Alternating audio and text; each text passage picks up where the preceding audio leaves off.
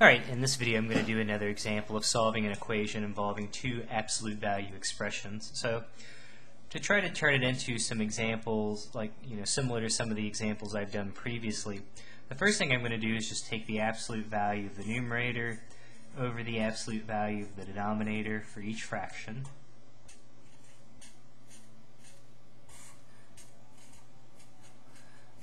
Well, certainly we can simplify. Uh, the absolute value of 2 is just 2, so we can drop the absolute value there. The same thing with the 5. Okay, so what I'm going to do now is, to, is just simply get rid of the fractions. So to do that, I, am just going to sort of uh, cross multiply here. So on the left side, we'll get 2 times the absolute value of 2x plus 1 equals 5 times the absolute value of 3x plus 6. And again, at this point, what we do is basically to, to create our two different equations that we have to solve. For one of the equations, um, everywhere there's absolute value on, you know, for my two, my two expressions, um, I just turn those into parentheses. So that's one equation we'll have to solve.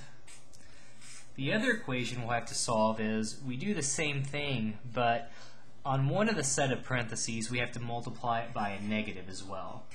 So instead of just in parentheses 2x plus 1, I'm going to put the negative um, on that side.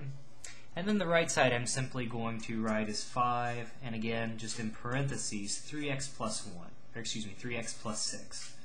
So we've, we've introduced this negative 1 on one set of the parentheses. Well, at this point now I've got my equations I have to solve. So on the left one, if I distribute by 2, I'll get 4x plus 2. I'll have 5 times 3x, which is 15x, 5 times 6 is going to give us positive 30. And then I'll subtract 4x from both sides. So that'll give me 2 equals, okay, so 15 minus 4x would be 11x plus 30. And now if I subtract 30 from both sides, I'll get uh, negative 28 equals 11x. And then I can divide both sides by 11 and I'll get x equals negative 28 over 11 as one of my solutions. And for the other one, okay, I could pull the negative all the way out front, so really we have negative 2 times 2x plus 1, and 5 times the quantity 3x plus 6. So if I distribute the negative 2, we'll get negative 4x. Negative 2 times positive 1 is negative 2. 5 times 3x is going to be 15x. 5 times positive 6 is going to be positive 30. And then I'm going to add 4x to both sides.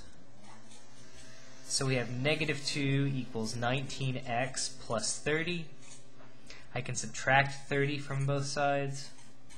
That'll give me um, negative 32 equals 19x. And then the last thing I'll do is simply divide both sides by 19 and I'll get my other solution of negative 32 over 19. So again, not the nicest numbers in the world, but solutions nonetheless.